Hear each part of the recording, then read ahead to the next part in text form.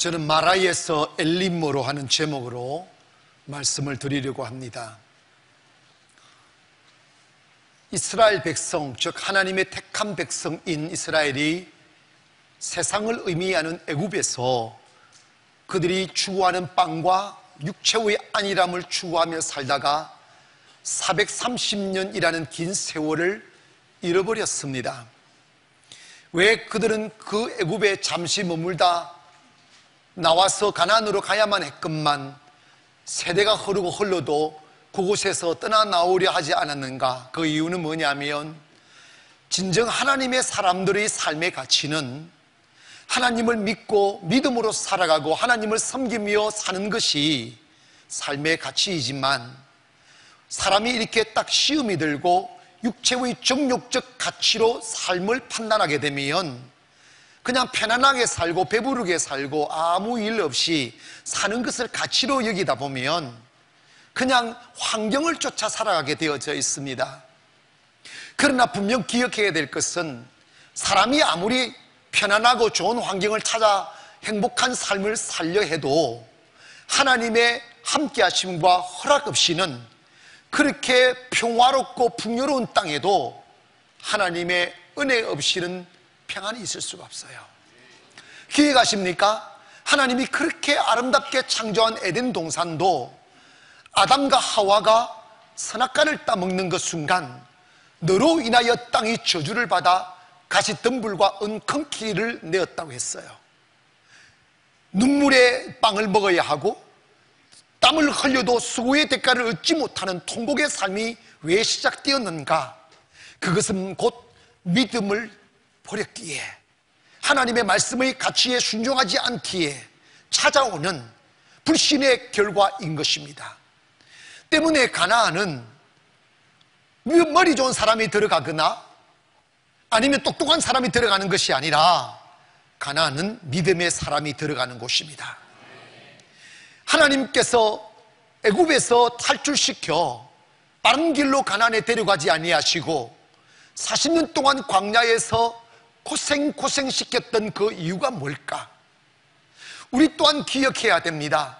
마음 편하려고 교회 왔고 행복하려고 교회 왔고 그리고 잘 살아보려고 교회 왔는데 실행생활이라는 걸 해보니까 내 마음처럼 그렇게 빨리 내가 원하는 오아시스가 찾아오지 않더라는 거예요.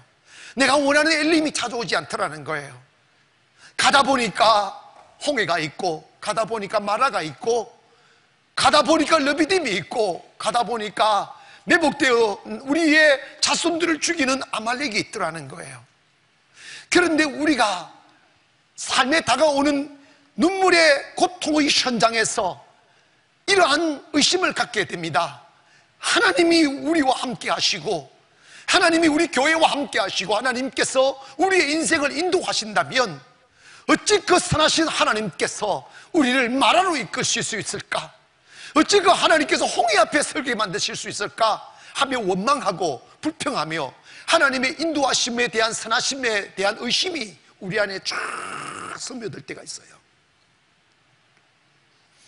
여러분, 그러나 우리가 꼭 기억해야 될 게 있어요. 그게 왜냐하면 하나님이 왜 우리를 그렇게 고난 가운데 이끄시는가 하는 부분입니다.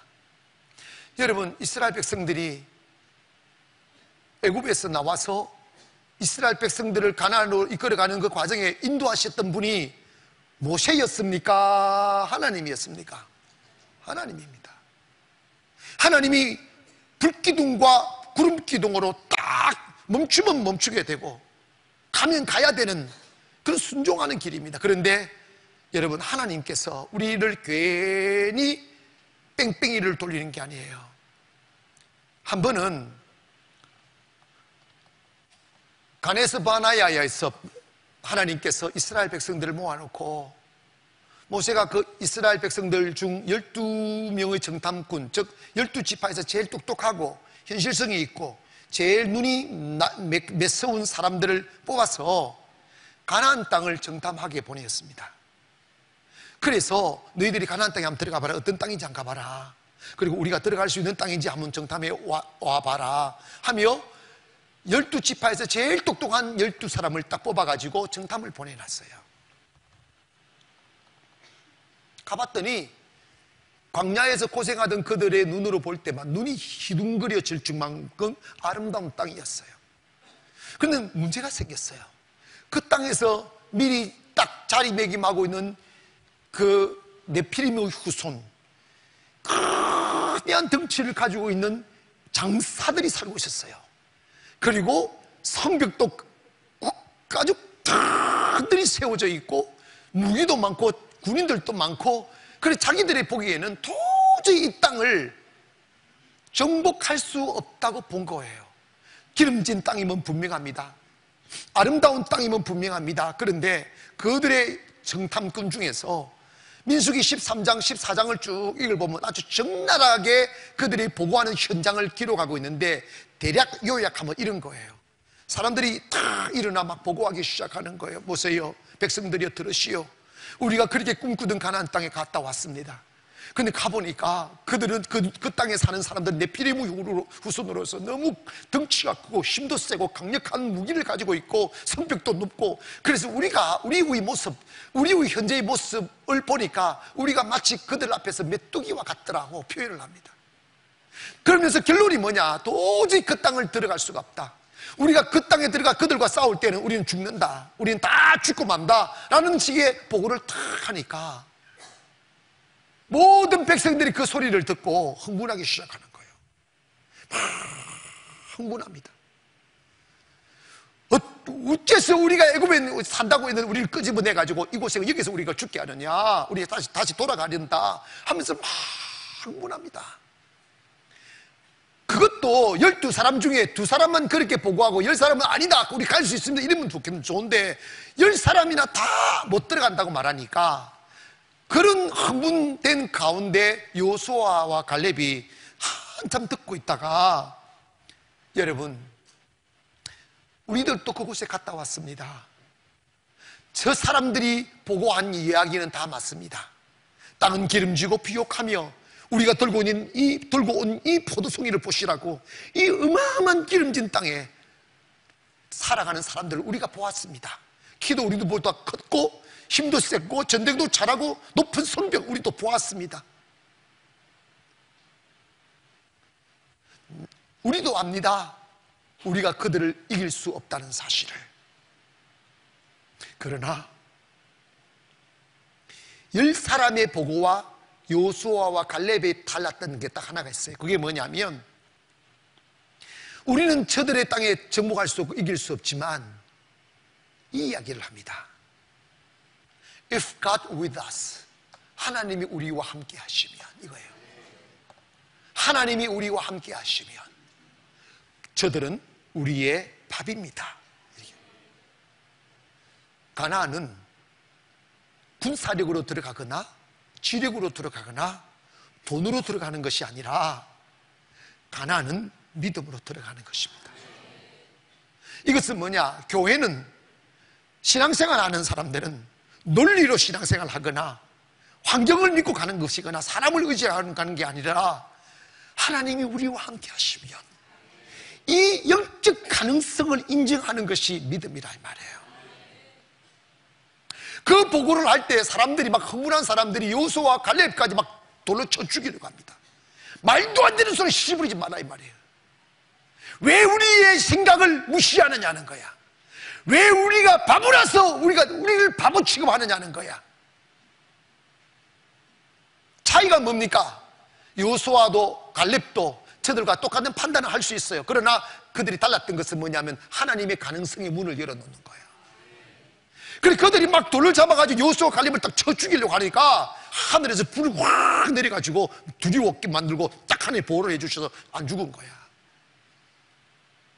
그 이후로 하나님께서 그 원망하고 불평하고 하나님 의지하지 않고 자신들의 힘으로 안 된다고 불가능하다고 포기해버린 그들을 향하여 하나님은 40년을 뺑뺑이를 돌리기 시작합니다. 이해가십니까? 저는 성경을 다 보면서 아, 이 사람들이 그냥 가나안 땅 하나님이 주신다고 하면 하나님이 주실 줄 믿고 가면 되잖아. 아멘 합시다. 왜 그런 큰 실수를 저질렀느냐? 자기들의 힘으로 그곳에 가야 된다고 생각하기 때문입니다. 신앙생활은 내 힘으로 사는 것이 아니에요. 신앙생활은 하나님의 도움을 받는 것이라 이 말입니다. 신앙생활은 우리가 할 수 있다고 말하는 것이 아니고 신앙생활은 하나님이 하십니다라고 말하는 것입니다. 오늘날 왜 교회가 멈추고 있습니까? 왜 성도들이 신앙생활을 하는데 삶에 변화가 없고 왜 더 큰 축복이 없습니까? 교회는 다니고 말씀을 듣는데 삶을 하나님의 함께 하심을 인정하지 않는 거예요. 하나님이 일하실 몫을 만들어 놓지 않는 거예요. 그래서 자기들끼리 할 수 있는 일만 하는 거예요. 그건 하나님의 일이 아닌 것입니다. 사랑 여러분이요. 천국은 믿음으로 가는 것입니다. 그리고 교회는 그 믿음을 배우는 곳이에요. 그런데 믿음을 가르치는 교회가 믿음으로 교회를 운영하지 아니하고 믿음으로 살아가는 모습을 보이지 못한다면 그건 교회가 아니에요. 교회는 믿음을 보이는 곳입니다. 믿음으로 가야만 되는 것입니다. 우리의 힘으로 할 수 있는 일은 하나님의 일이 아닙니다. 하나님의 일은 하나님이 하시는 것이 하나님의 일입니다. 사랑 여러분, 저는 이스라엘 갔다 오면서 하나님께서 큰 비전을 통곡 속에 주시면서 큰 일을 이루실 것에 대한 감동을 받았어요. 근데 여러분 생각해 봐요. 우리가 딱히 그래야 되는지. 저는 이게, 이게 뭔지 몰라도 춘천에서도 편안한 삶 살았어요. 너무 좋은 환경 속에서 사는데 또 하나님의 더큰 뜻을 위해서 3천만 원 들고 송도에 올라와서 또 세상적으로 말하면 한 7, 8년 열심히 고생했잖아. 세상적으로 봐야 돼. 고생한 것도 없어. 세상적으로 판단하면 그래가지고 한 2천 명의 성도가 이렇게 붕괴했으면 야 성공했다. 한국 교회가 다 그렇게 말을 합니다. 그런데 하나님이 또 다른 부담감을 주시는 거예요. 왜 그러느냐? 많은 교회가 있고 성도가 우리보다 더 많은 수십만 되는 교회도 있지만 왜 우리 교회를 쓰시려고 하느냐의 응답이 뭔지 아십니까? 우리 교회는 분쟁이 없다는 거야. 우리 교회는 순종할 수 있는 교회란다. 아멘. 그리고 오늘 아침에 어느 집사님이 예배를 마치고 마치 인사 나가는데 눈물을 뚝뚝뚝뚝 흘리면서 목사님 하나님이 우리 교회에 크게 쓰신답니다. 누가 몰라?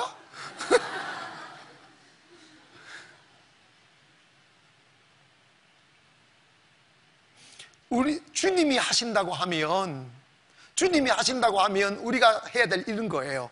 우리가 할 수 있느냐 없느냐를 따지면 안 돼요. 그 사람 뺑뺑이 돕니다. 우리가 할 수 있느냐 없느냐를 따지면 뺑뺑이 돕니다.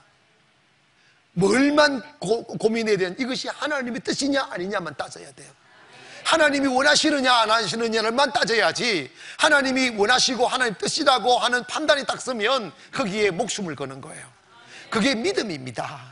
아멘. 우리가 뭘할수 있느냐 이거 따지면 안 되는 거예요. 그럼 뺑뺑이 돌게 되어져 있어요. 자 보십시다. 하나님이 이끌어 가시면 형통해야 되는데 하나님이 이끌어 가는데 홍해를 건넜잖아. 홍해를 건너고 3일 길을 걸어왔어요. 3일 길을 딱 걸어왔는데 만난 게 마라예요.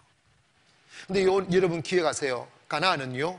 홍해를 건너서 가는 것이고 마라를 지나가는 것이고 러비딤을 지나가는 것이고 아말렉과 싸워가는 것이지 절대로 편안하게 가는 것이 가난이 아닙니다. 왜 그러느냐? 그걸 통하여 믿음을 배우는 거예요. 아시겠어요? 믿음을 배우는 거예요. 그런데 봐봐요. 이스라엘 백성들은 여전히 여러분 3일 전에 하나님이 저들이 보는 데서 홍해 바다를 가르는 걸 보았어. 그리고 그들을 430대도 억압했던 그 군, 마병을 일건 이 바로의 군사들이 자기들을 죽이려고 종으로 다시 끌고, 가려고 쫓아왔던 그들이 자신들 눈앞에서 다 한꺼번에 수장되는 그 모습을 보았어요. 그리고 그들 춤을 췄습니다. 살아계신 하나님이라고. 그랬으면 그 살아계신 하나님의 역사를 보았으면 3일을 지나 이 마라에 딱 도달했을 때 물을 마시려고 하니까 쓱쓱 마시지 못했을 때 그러면 그 하나님이 또 역사해 주실 것을 믿어야 되잖아. 아멘 합시다. 그런데 원망하기 시작합니다. 또 말하는 말 원망하다, 불평하다, 고통스러워하다, 막 투쟁하다. 그래서 이 밤새도록 원망했다는 거야. 하나님이 그거 보고 분노하는 거예요. 여러분 기억하세요. 예수의 사람들은 환경을 보는 사람이 아니에요. 예수의 사람들은 믿음을 보는 것이라 이 말입니다. 더 나은 가치와 하나님의 뜻을 위하여 나의 편안한 삶을 던져버릴 수 있는 용기가 필요하다 이 말입니다. 그런데 오늘날 신앙생활하는 모든 사람들 이스라엘 사람들과 똑같아. 제가 목회하다 보면요, 나는 여전히 우리 교회 장로가 이스라엘 백성들의 장로 같고 우리 교회 성도들이 이스라엘 백성 성도 같은 느낌들을 내가 받을 때가 많다니까. 여러분, 우리 교회에 얼마나 많은 기적이 일어났습니까? 어? 우리 교회에 얼마나 많은 기적이 일어났고, 기적까지 일어났지 않습니까? 이걸 보고 온 우리들 안에도 할 수 있을까 한다. 그 생각을 왜 하느냐고. 할 수 있을까를 왜 생각하느냐, 이 말이에요. 여러분, 너무 걱정하지 마세요. 저는요, 제가, 제가 각오를 했어요. 하나님의 뜻이라면 나의 편안함을 버리겠습니다. 나의 배부름을 버리겠습니다. 주님이 원하신다면 순종하겠습니다 하고 사실은 우리가 주님이 원하시는 일을 하기 위하여 땅을 받았어요. 땅을 받는데 이제 뭐 점점 매일 바뀌는데 며칠 전에 부정적인 보고 왔어요. 그거 사면 안 된다는 부정적인 보고. 근데 제가 기도했어요. 하나님, 이게 무슨 뜻, 무슨 말입니까? 무슨 뜻입니까? 근데 다, 그래서 제가 주님께 이런, 이런 마음을 드렸어요. 주님이 원하시는 것이고, 주님이 그곳에 세우기를 원한다면 다 안 된다고 할지라도 나는 합니다. 그 고백을 제가 그래서 주, 준비한 정판주 장로한 밤에 전화해가지고 다 안 된다고 해도 시끄럽다. 나는 주님이 하시면 나는 합니다. 그렇게 알고 계세요. 라고 이야기를 해놨어요. 중요한 것은 하나님이, 여러분, 하나님의 일은 절대로 순탄하면 안 돼요. 아멘 합시다. 홍해가 있어야 돼요. 마라가 있어야 돼요. 르비딤이 있어야 돼요. 거기서 뭘 보느냐? 하나님은 건물을 세웠다고 영광 받는 게 아니고 믿음을 보는 거야. 하나님이 하셨습니다. 이걸 보기를 원하는 거예요. 안 되는 걸 되게 하시는 하나님. 이해가시면 하면 주님 그 믿음을 보는 것이 건물을 보는 것이 아니라 이 말입니다. 그래서 저는 이미 마음을 먹었어요. 뭐 보고 들을 것도 없어요. 이미 마음 먹고 모세가 이걸 보세요. 자, 마라에 다 다다려서 사람들이 막 원망할 때, 모두가 원망할 때, 이때 지도자가 중요한 거예요. 모세가 40대라면 패죽 있을 거예요. 무슨 얘기? 막 욕하고 원망하고 그럴 때 여러분 하나님이 모세 모세가 60, 80세가 되어가지고 세워놔서 그 당연이지. 여러분 봐봐요. 천 명도 아니고 만 명도 아니고 장정만 60만 명이 모세를 막 원망할 때 모세가 어떤 어떤 태도를 취하게 되겠어? 그러면 우리 여러분 모입시다. 우리 회의합시다. 우리 다시 돌아가시렵니까? 아니면 돌아가자는 사람 손 드세요. 여기 남자는 손 드세요. 여러분 그렇게 끌고 가면요 교회는 난장판이에요. 하나님이 왜 우리 교회를 쓰시려고 하느냐면 그 핵심이 분쟁이 없다는 거예요. 분쟁이 없다는 말은 뭐냐면 싸움이 없다는 거야. 왜 우리 교회가 분쟁이 없는 줄 아시면 제가 뭐 위대해서 웃겨요. 저 위대하지 않아요. 딱 분쟁이 없는 이유가 딱 하나예요. 회의를 안 하기 때문에 분쟁이 없어요. 아직 회의하면 분쟁이 일어나게 돼 있어요. 절대로 사람은요, 100% 맞지 않아요. 아멘. 여러분 봐보세요. 봐보세요. 모세가 이때 사람들을 위로하고 사람들의 비유를 맞추고 사람들의 말을 따라갔으면 다 죽었어요. 모세가 뭐 했느냐? 엎드린 거예요. 모든 사람이 아니라고 해도 하나님이 가라고 하면 가는 것이 지도자입니다. 그 지도력이 상실되었기 때문에 한국교회가 무너지는 거예요. 이해가세요? 여러분의 가정에서 식구가 다 안 된다 할지라도 여러분 다 기도하고 주님 의지하고 가면 결국은 하나님은 그 한 사람의 믿음의 사람의 편에 선다니까. 이해가시면 하면. 때문에 우리가 해야 될 일이 뭐냐면 하나님 앞에 딱 엎드리는 거예요. 기도하는 거예요. 하나님의 때. 즉 뭐냐면 하나님이 하실 일을 하나님의 몫을 드리는 거예요. 그게 믿음. 그런데 보세요. 모세가 물어봅시다.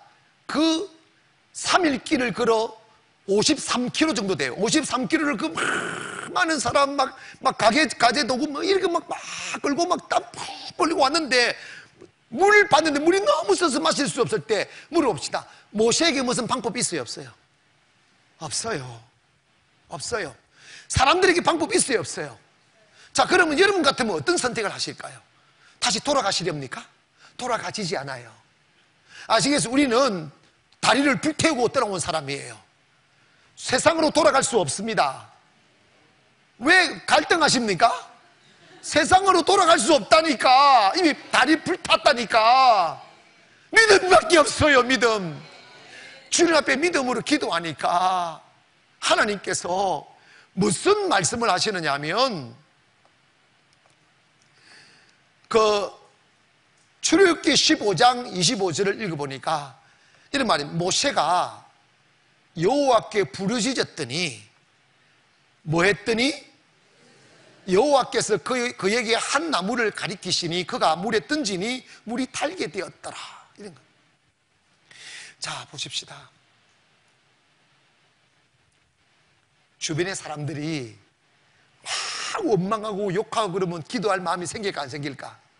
안 생겨요. 지도자는 그래서 지도자인 거예요. 다 안 된다고 하고 다 원망하고 죽이려고 막 돌을 들었다 놨다 할지라도 그 앞에 싸우지 말고 그냥 묵히 기도하는 거예요. 그래서 여러분 봐봐요. 홍해에서 40년 동안 가나안으로 가는 그 여정에 수많은 문제가 있었는데 단 한 가지도 사람의 힘으로는 해결할 수 있는 문제가 없었어요. 그래서 죽는다고 하는 거예요. 그런데 그 모든 과정에 하나님이 다 해결하셨어요. 언제? 기도할 때. 기도할 때. 인생이 교회가 이렇게 성장하지 못하고 앞으로 나아가지 못하고 멈추어 있거나 내리막을 걷는 인생이라 교회들의 특징 하나가 있어요.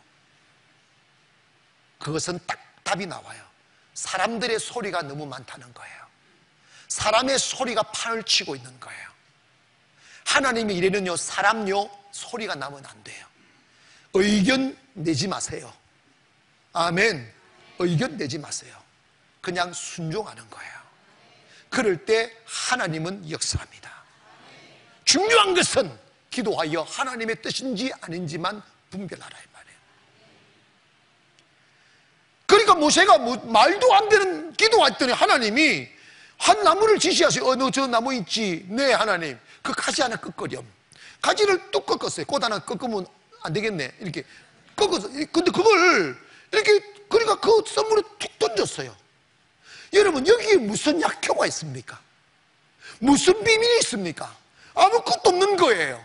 모세는 지금 하나님에게 순종만 하고 있는 거예요. 하나님에게 순종만 하고 있는, 결과가 어떻게 되는지 모르는 거예요. 세상에 봐봐요. 200만 명이 다 보고 있고 분노 얼굴이 멀게 있어요. 욕하고 있어요. 나 모세 네가 목사야 이러고 있어요 지금. 그런데 모세가 그 앞에서 기도를 하고 있는 거예요. 그리고 나무 씻기는 대로 여러분 그 던졌는데 아무 일 없어 보세요. 백성들이 일어나 저놈 저 정신병자 됐다고 할 거 아닙니까? 저 헷갈락 했다고 합니까? 음, 음, 미신 같은 짓을 한다고 그럴 거 아닙니까? 근데 모세는 하나님의 감독에 순종하는 거예요. 순수하게 순종하는 거예요. 그랬더니 그 쓰디 썼던 물이 금방 달아지는 거예요. 달콤한 물로 바뀌는 거예요. 사랑하는 성도 여러분, 이것이 우리네들의 신앙의 삶이 되어야 됩니다. 이 나무는 예수 그리스도를 상징합니다. 사랑하는 여러분, 우리의 삶에 예수님이 찾아와야 됩니다. 우리의 삶에 예수의 능력이 찾아와야 됩니다. 그래서 그 영적이, 능력이 작동하도록 하셔야 된단 말입니다. 제가 인생을 살면서 마라를 만나는 게 축복이다. 홍해를 만나는 게 축복이고 아말렉을 만나는 게 축복이라고 말씀하는 이유가 뭔지 아십니까? 믿음 없이 그, 그런 것들을 대하면 죽을 만큼 힘이 들고 두렵지만 믿음으로 그들을 만나면 너무너무 흥분되는 거야. 무슨 흥분이냐? 하나님이 어떤 역사를 하실지에 대한 기대감에서. 아멘. 하나님이 어떻게 할지 막 기대가 되는 거예요. 그러니까 뭐 초월적인 하나님의 능력을 막 물을 확 타게 만들어 주시고 홍해를 갈라 주시고 그걸 통하여 믿음을 갖기는 거지. 쉬운 삶을 살려 하지 마십시오. 편안한 삶을 살려고 하지 마세요. 여러분의 능력만큼 인생의 삶을 살려고 하지 마세요. 그거는 하나님이요. 죄송합니다. 하나님 우리를 사랑하셔요. 다 구원시키기를 원하셔요. 그런데, 그런데, 끝까지 원망하고 불평하니까 하나님의 선택받은 이스라엘 백성임에도 불구하고 광야에서 다 죽여버려요. 다 죽여버려요. 자, 남정네만 60만인데 60만 명 중에 몇 명만 됐거든. 여수와 갈렙 믿음 있는 사람 두 사람은 달랑 그리고 20대 이하의 아이들만 데리고 가나안으로 들어가는 거예요. 여러분 이걸 농담으로 듣지 마세요. 이걸 그냥 지나쳐 듣지 마세요. 60만 명의 교인 중에 두 사람 천국 간다는 말과 똑같은 말이야. 여러분 교회 나오신다고 여러분 지금 이 자리에 계신다고 여러분이 천국 갈 거라고 착각하지 마세요. 여러분 너무나 많은 목사님들이 도백급으로 여러분 우리 교회 나와주셨으니까 구원받을 것입니다. 그 거짓말이에요. 왜 그 쌍거짓말 하는 거 어떻게 그 영혼을 책임지려고? 우리를 구원하시고 안 하시고는 하나님이 결정하시는 거예요. 하나님이 결정하는 기준점은 뭐냐? 교회를 오래 다녔느냐 안 다녔느냐가 아니고 믿음을 보신다 이 말이에요. 우리에게 믿음의 삶을 보이라 이 말입니다. 그런데 믿음의 삶을 못 보이잖아. 믿음은 뭔지 아십니까? 100% 불가능한 곳에 하나님의 뜻이라고 믿어질 때 목숨을 거는 거야. 100%의 불가능에 하나님의 뜻이라고 믿어질 때 목숨을 거는 게 그게 믿음이라니까. 아멘. 아무나 가난에 들어가는 것이 아니라 이 말입니다. 아무나 복을 받는 것이 아니라 이 말입니다. 따지고 따지고 계산하고 계산하고 그거 하나님 방법 아니에요. 그냥 믿으세요. 하나님이 하실 것을 믿기를 주의 이름으로 축원하고 여러분의 삶에 이 마라가 있을 수 있어요. 자녀가 마라가 될 수 있고 아내가 마라가 될 수가 있고 남편도 마라가 될 수 있어요. 그리고 사업도 마찬가지. 세상은 가는 곳마다 벽이 있어요. 그냥 하나 못 살아 짜증내지 마세요. 마라는 나로 하여금 믿음을 키우게 하는 하나님의 방법이에요. 아시겠어요? 그걸 보고 원망하거나 뭐 원망하거나 자 원망하거나 불평하거나 의심하면 그것이 고통으로 다가와요. 제가 믿거나 말거나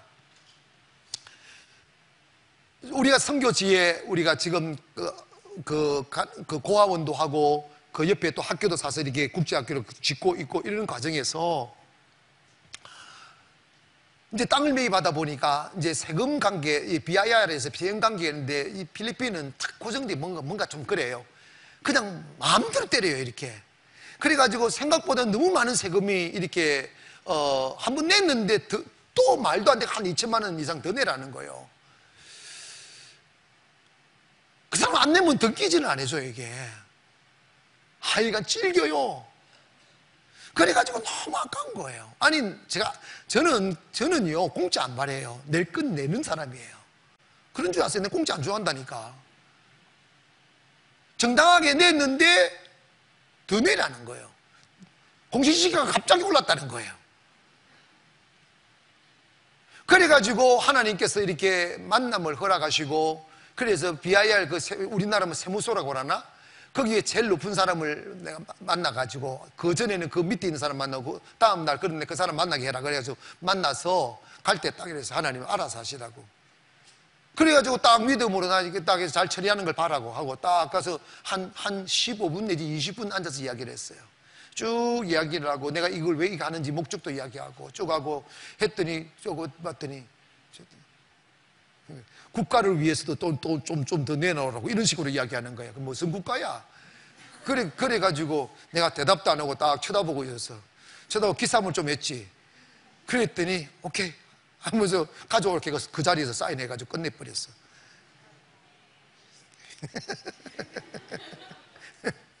이런 봐봐요. 하나님이 하실 것을 기대하세요. 정당하게는 가지만 하나님의 몫이 있어요. 인생에 하나님의 제발 좀 만드세요. 하나님이 제일 싫어하는 사람 누구냐면 10만 원 가지고 10만 원짜리 일하는 사람이야. 그 사람 믿음의 사람이 아니 하나님 그 사람 불신자로 보는 거예요. 지금 한국 교회가 10만 원짜리 가지고 5만 원짜리 일도 못 해요. 내가 현실을 너무 잘 알아요. 5만 원짜리 일 못하는지 아십니까? 다툼 때문에 그래요. 할까 안 할까를 왜 묻습니까? 왜 성도들한테 할까 안 할까를 묻냐고. 그게 바로 인본주의인 거예요. 하나님이 하시라는 확신이 오면 물불 안 가리고 목숨을 걸어야지. 아멘 합시다. 편하고자 하는 것이 아니잖아요. 명예를 위해서 하는 게 아니잖아요. 주님의 나라를 위해 목숨을 건다며. 목숨, 말만 목숨을 걸어야지. 하여튼 말은 잘해요. 여러분, 믿음은 가능성 제로에 목숨을 거는 게 믿음이에요. 그렇게 해야 하나님이 역사합니다. 사랑 여러분, 놀라운 역사가 일어나는 거예요. 주님 앞에 순종하고 시키는 대로 했더니 마라의 쓴물이 갑자기 달아지는 거예요. 아, 하나님이 왜 우리를 이렇게 마라에 이끌고 고통 가운데 이끄는지 여러분 아십니까? 그 이유가 있어요. 그 이유가 신명기에 보면 아, 신명기 8장 3절에 보면 이런 말씀이 있어요. 한번 한번 한번 읽어 보십시오. 시작. 너희를 낮추시며 너희를 줄이게 하시며 너를 알지 못하며 내 조상들도 알지 못하던 만나를 내게 먹이신 것은 사람이 떡으로만 사는 것이 아니요 여호와 입에서 나오는 모든 말씀으로 사는 줄을 내가 알게 하려 하십니다.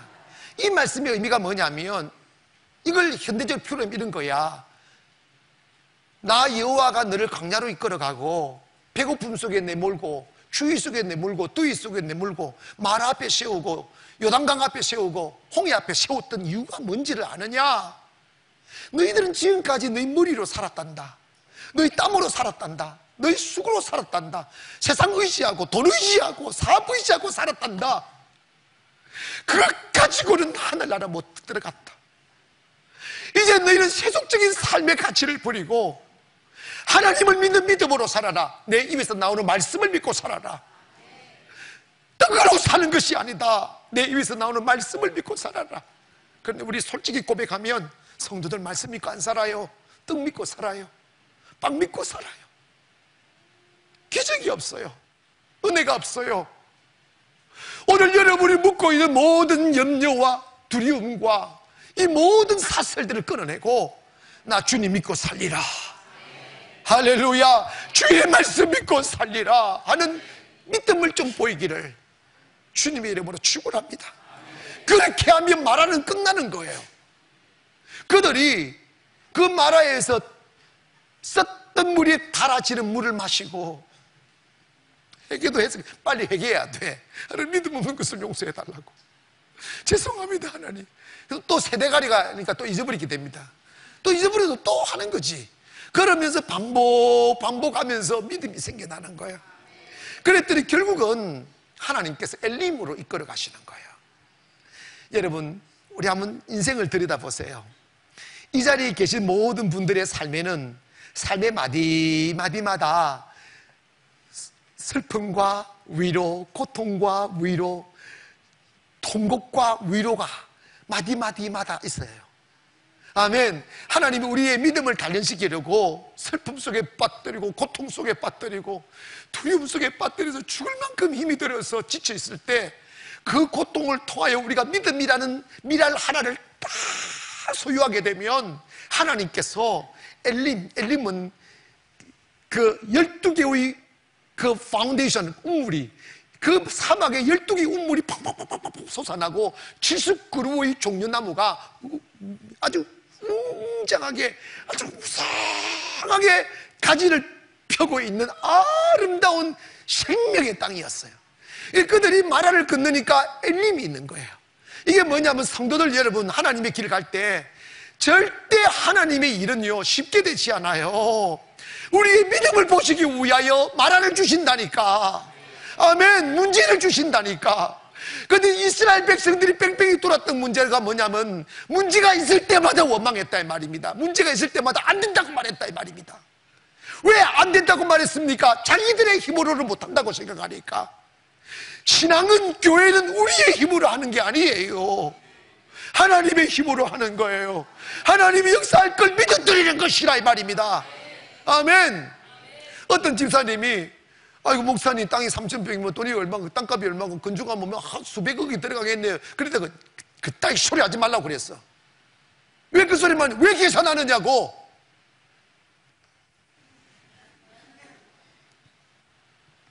겁먹지 마세요. 하나님의 역사를 보세요. 하나님 위대하심을 보세요. 우리가 할 수 있는 것은 기도고 하나님이 각자에게 하라고 하시는 대로만 순종하면 될 뿐이라 이 말입니다. 하나님의 몫은 있음을 믿기를 원합니다. 여러분 봐봐요. 저 인생에도 돌아보니까 너무 슬픔도 많았고 절망도 많았고 아픔도 많았는데 그 말을 그냥 처음에는 기도를 안 해요. 고집쟁이니까 막 죽음 속으로 몰려가면 딱히 길이 없으니 기도하게 돼요. 기도하면 꼭 해결됩니다. 아멘 합시다. 기도하면 해결됩니다. 그리고 난 뒤에 하나님께서 여차없이 우리를 어디로 이끌냐면 엘림으로 이끌어요. 좋은 사람 만나서 위로하게, 위로받게 만들고, 좋은 환경 주어서 피곤치, 피곤, 항상 여러분, 우리의 삶의 대목, 대목마다 여러분 엘림이었어, 엘림이 있어요. 저는 제가 상가에서 개척해서 영적 전쟁터 속에 막 씨름하고 갈등하고 고민하다가 이곳에 전쟁같이 이곳에 왔어요. 전쟁같이 이곳에 와서 이제 엘림, 엘림을 우리가 지금 누리고 있는 거예요. 엘림을 누리고 있는데 이제 엘림을 누리고 나면 더 큰 일이 벌어지는 거야. 이제 큰 일이 벌어지는 거예요. 그런데 더 큰 믿음이 있으면 하나님 역사하십니다. 사랑 성도 여러분, 엘림은 이스라엘 백성들을 의미하기도 하고 가나안을 의미하기도 합니다. 작은 평안. 여러분 교회 생활하면서 하나님이 다가와서 위로의 엘림을 경험하시기를 바랍니다. 그러면서 꿈을 꾸세요. 내게 영원히 사라지지 않는 엘림이 올 것이야. 영원히 빼앗기지 아니할 엘림, 즉 천국이 우리에게 주어지는 거예요. 사랑 여러분, 꼭 기억하세요. 가나안은 그냥 가는 게 아니에요. 가나안은 홍해를 건너야 되고 마라를 건너야 되고 아멘. 여리고를 건너야 돼요. 우리에게는 누구나 다 그런 것이 있습니다. 그런데 불행히도 그 모진 40년의 세월을 함께 했음에도 불구하고 끝까지 믿음 지키지 못하고 환경에 따라 흔들렸고 불평하고 원망했던 사람들은 하나님이 참다 참다 안 되니까 다 죽여버리고 믿음의 사람 딱 요수와 갈렙만 딱 뽑아가지고 천국 즉 가난으로 딱 들여 보내는 것을 보면서 우리 욕심 한번 부려야 됩니다 이곳에 계신 여러분들이 누가 과연 가난에 갈까? 다 간다 말하면 안 됩니다 아시겠어요? 성가대원은 다 갑니다. 그것도 작아야. 못 가. 누가 가야 되느냐? 누가? 믿음 가진 사람. 믿음 가진 사람. 믿음 가진 사람.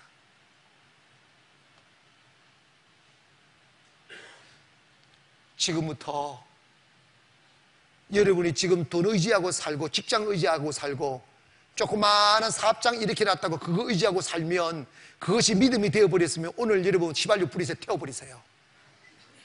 아직에서 태우세요. 그 사람이 하나님의 사람이에요. 사람을 의지하는 거 하나님 싫어하고 아 우리 교회가 지금 성도가 몇인데 그런 생각하면 안 돼요. 정말 무서운 생각이에요 그거. 무서운 생각이에요. 하나님이 분노하십니다. 하나님만 보는 거예요. 여호와 하나님 나를 믿느냐를 보는 거예요. 그런 때 하나님 우리에게 엘림을 주시는 거예요. 오늘 여러분의 가정 속에 엘림이 있기를 원합니다. 하나님 위로가 있고 풍요로운 축복이 있고 은혜가 있고 목마름이 없는 그 축복의 샘이 터져 나와야 돼. 누구에게 오느냐? 마라를 극복한 사람들에게 주어지는 은혜라 말이에요. 그러므로 우리의 삶이 마라에서 엘림으로 옮겨지는 축복이 있기를 원하고 우리 교회도 하나님이 예비하신 엘림으로 더 큰 엘림으로 가게 되는 동기가 되기를 바래서 이 말씀을 드렸습니다. 기도하겠습니다. 그렇게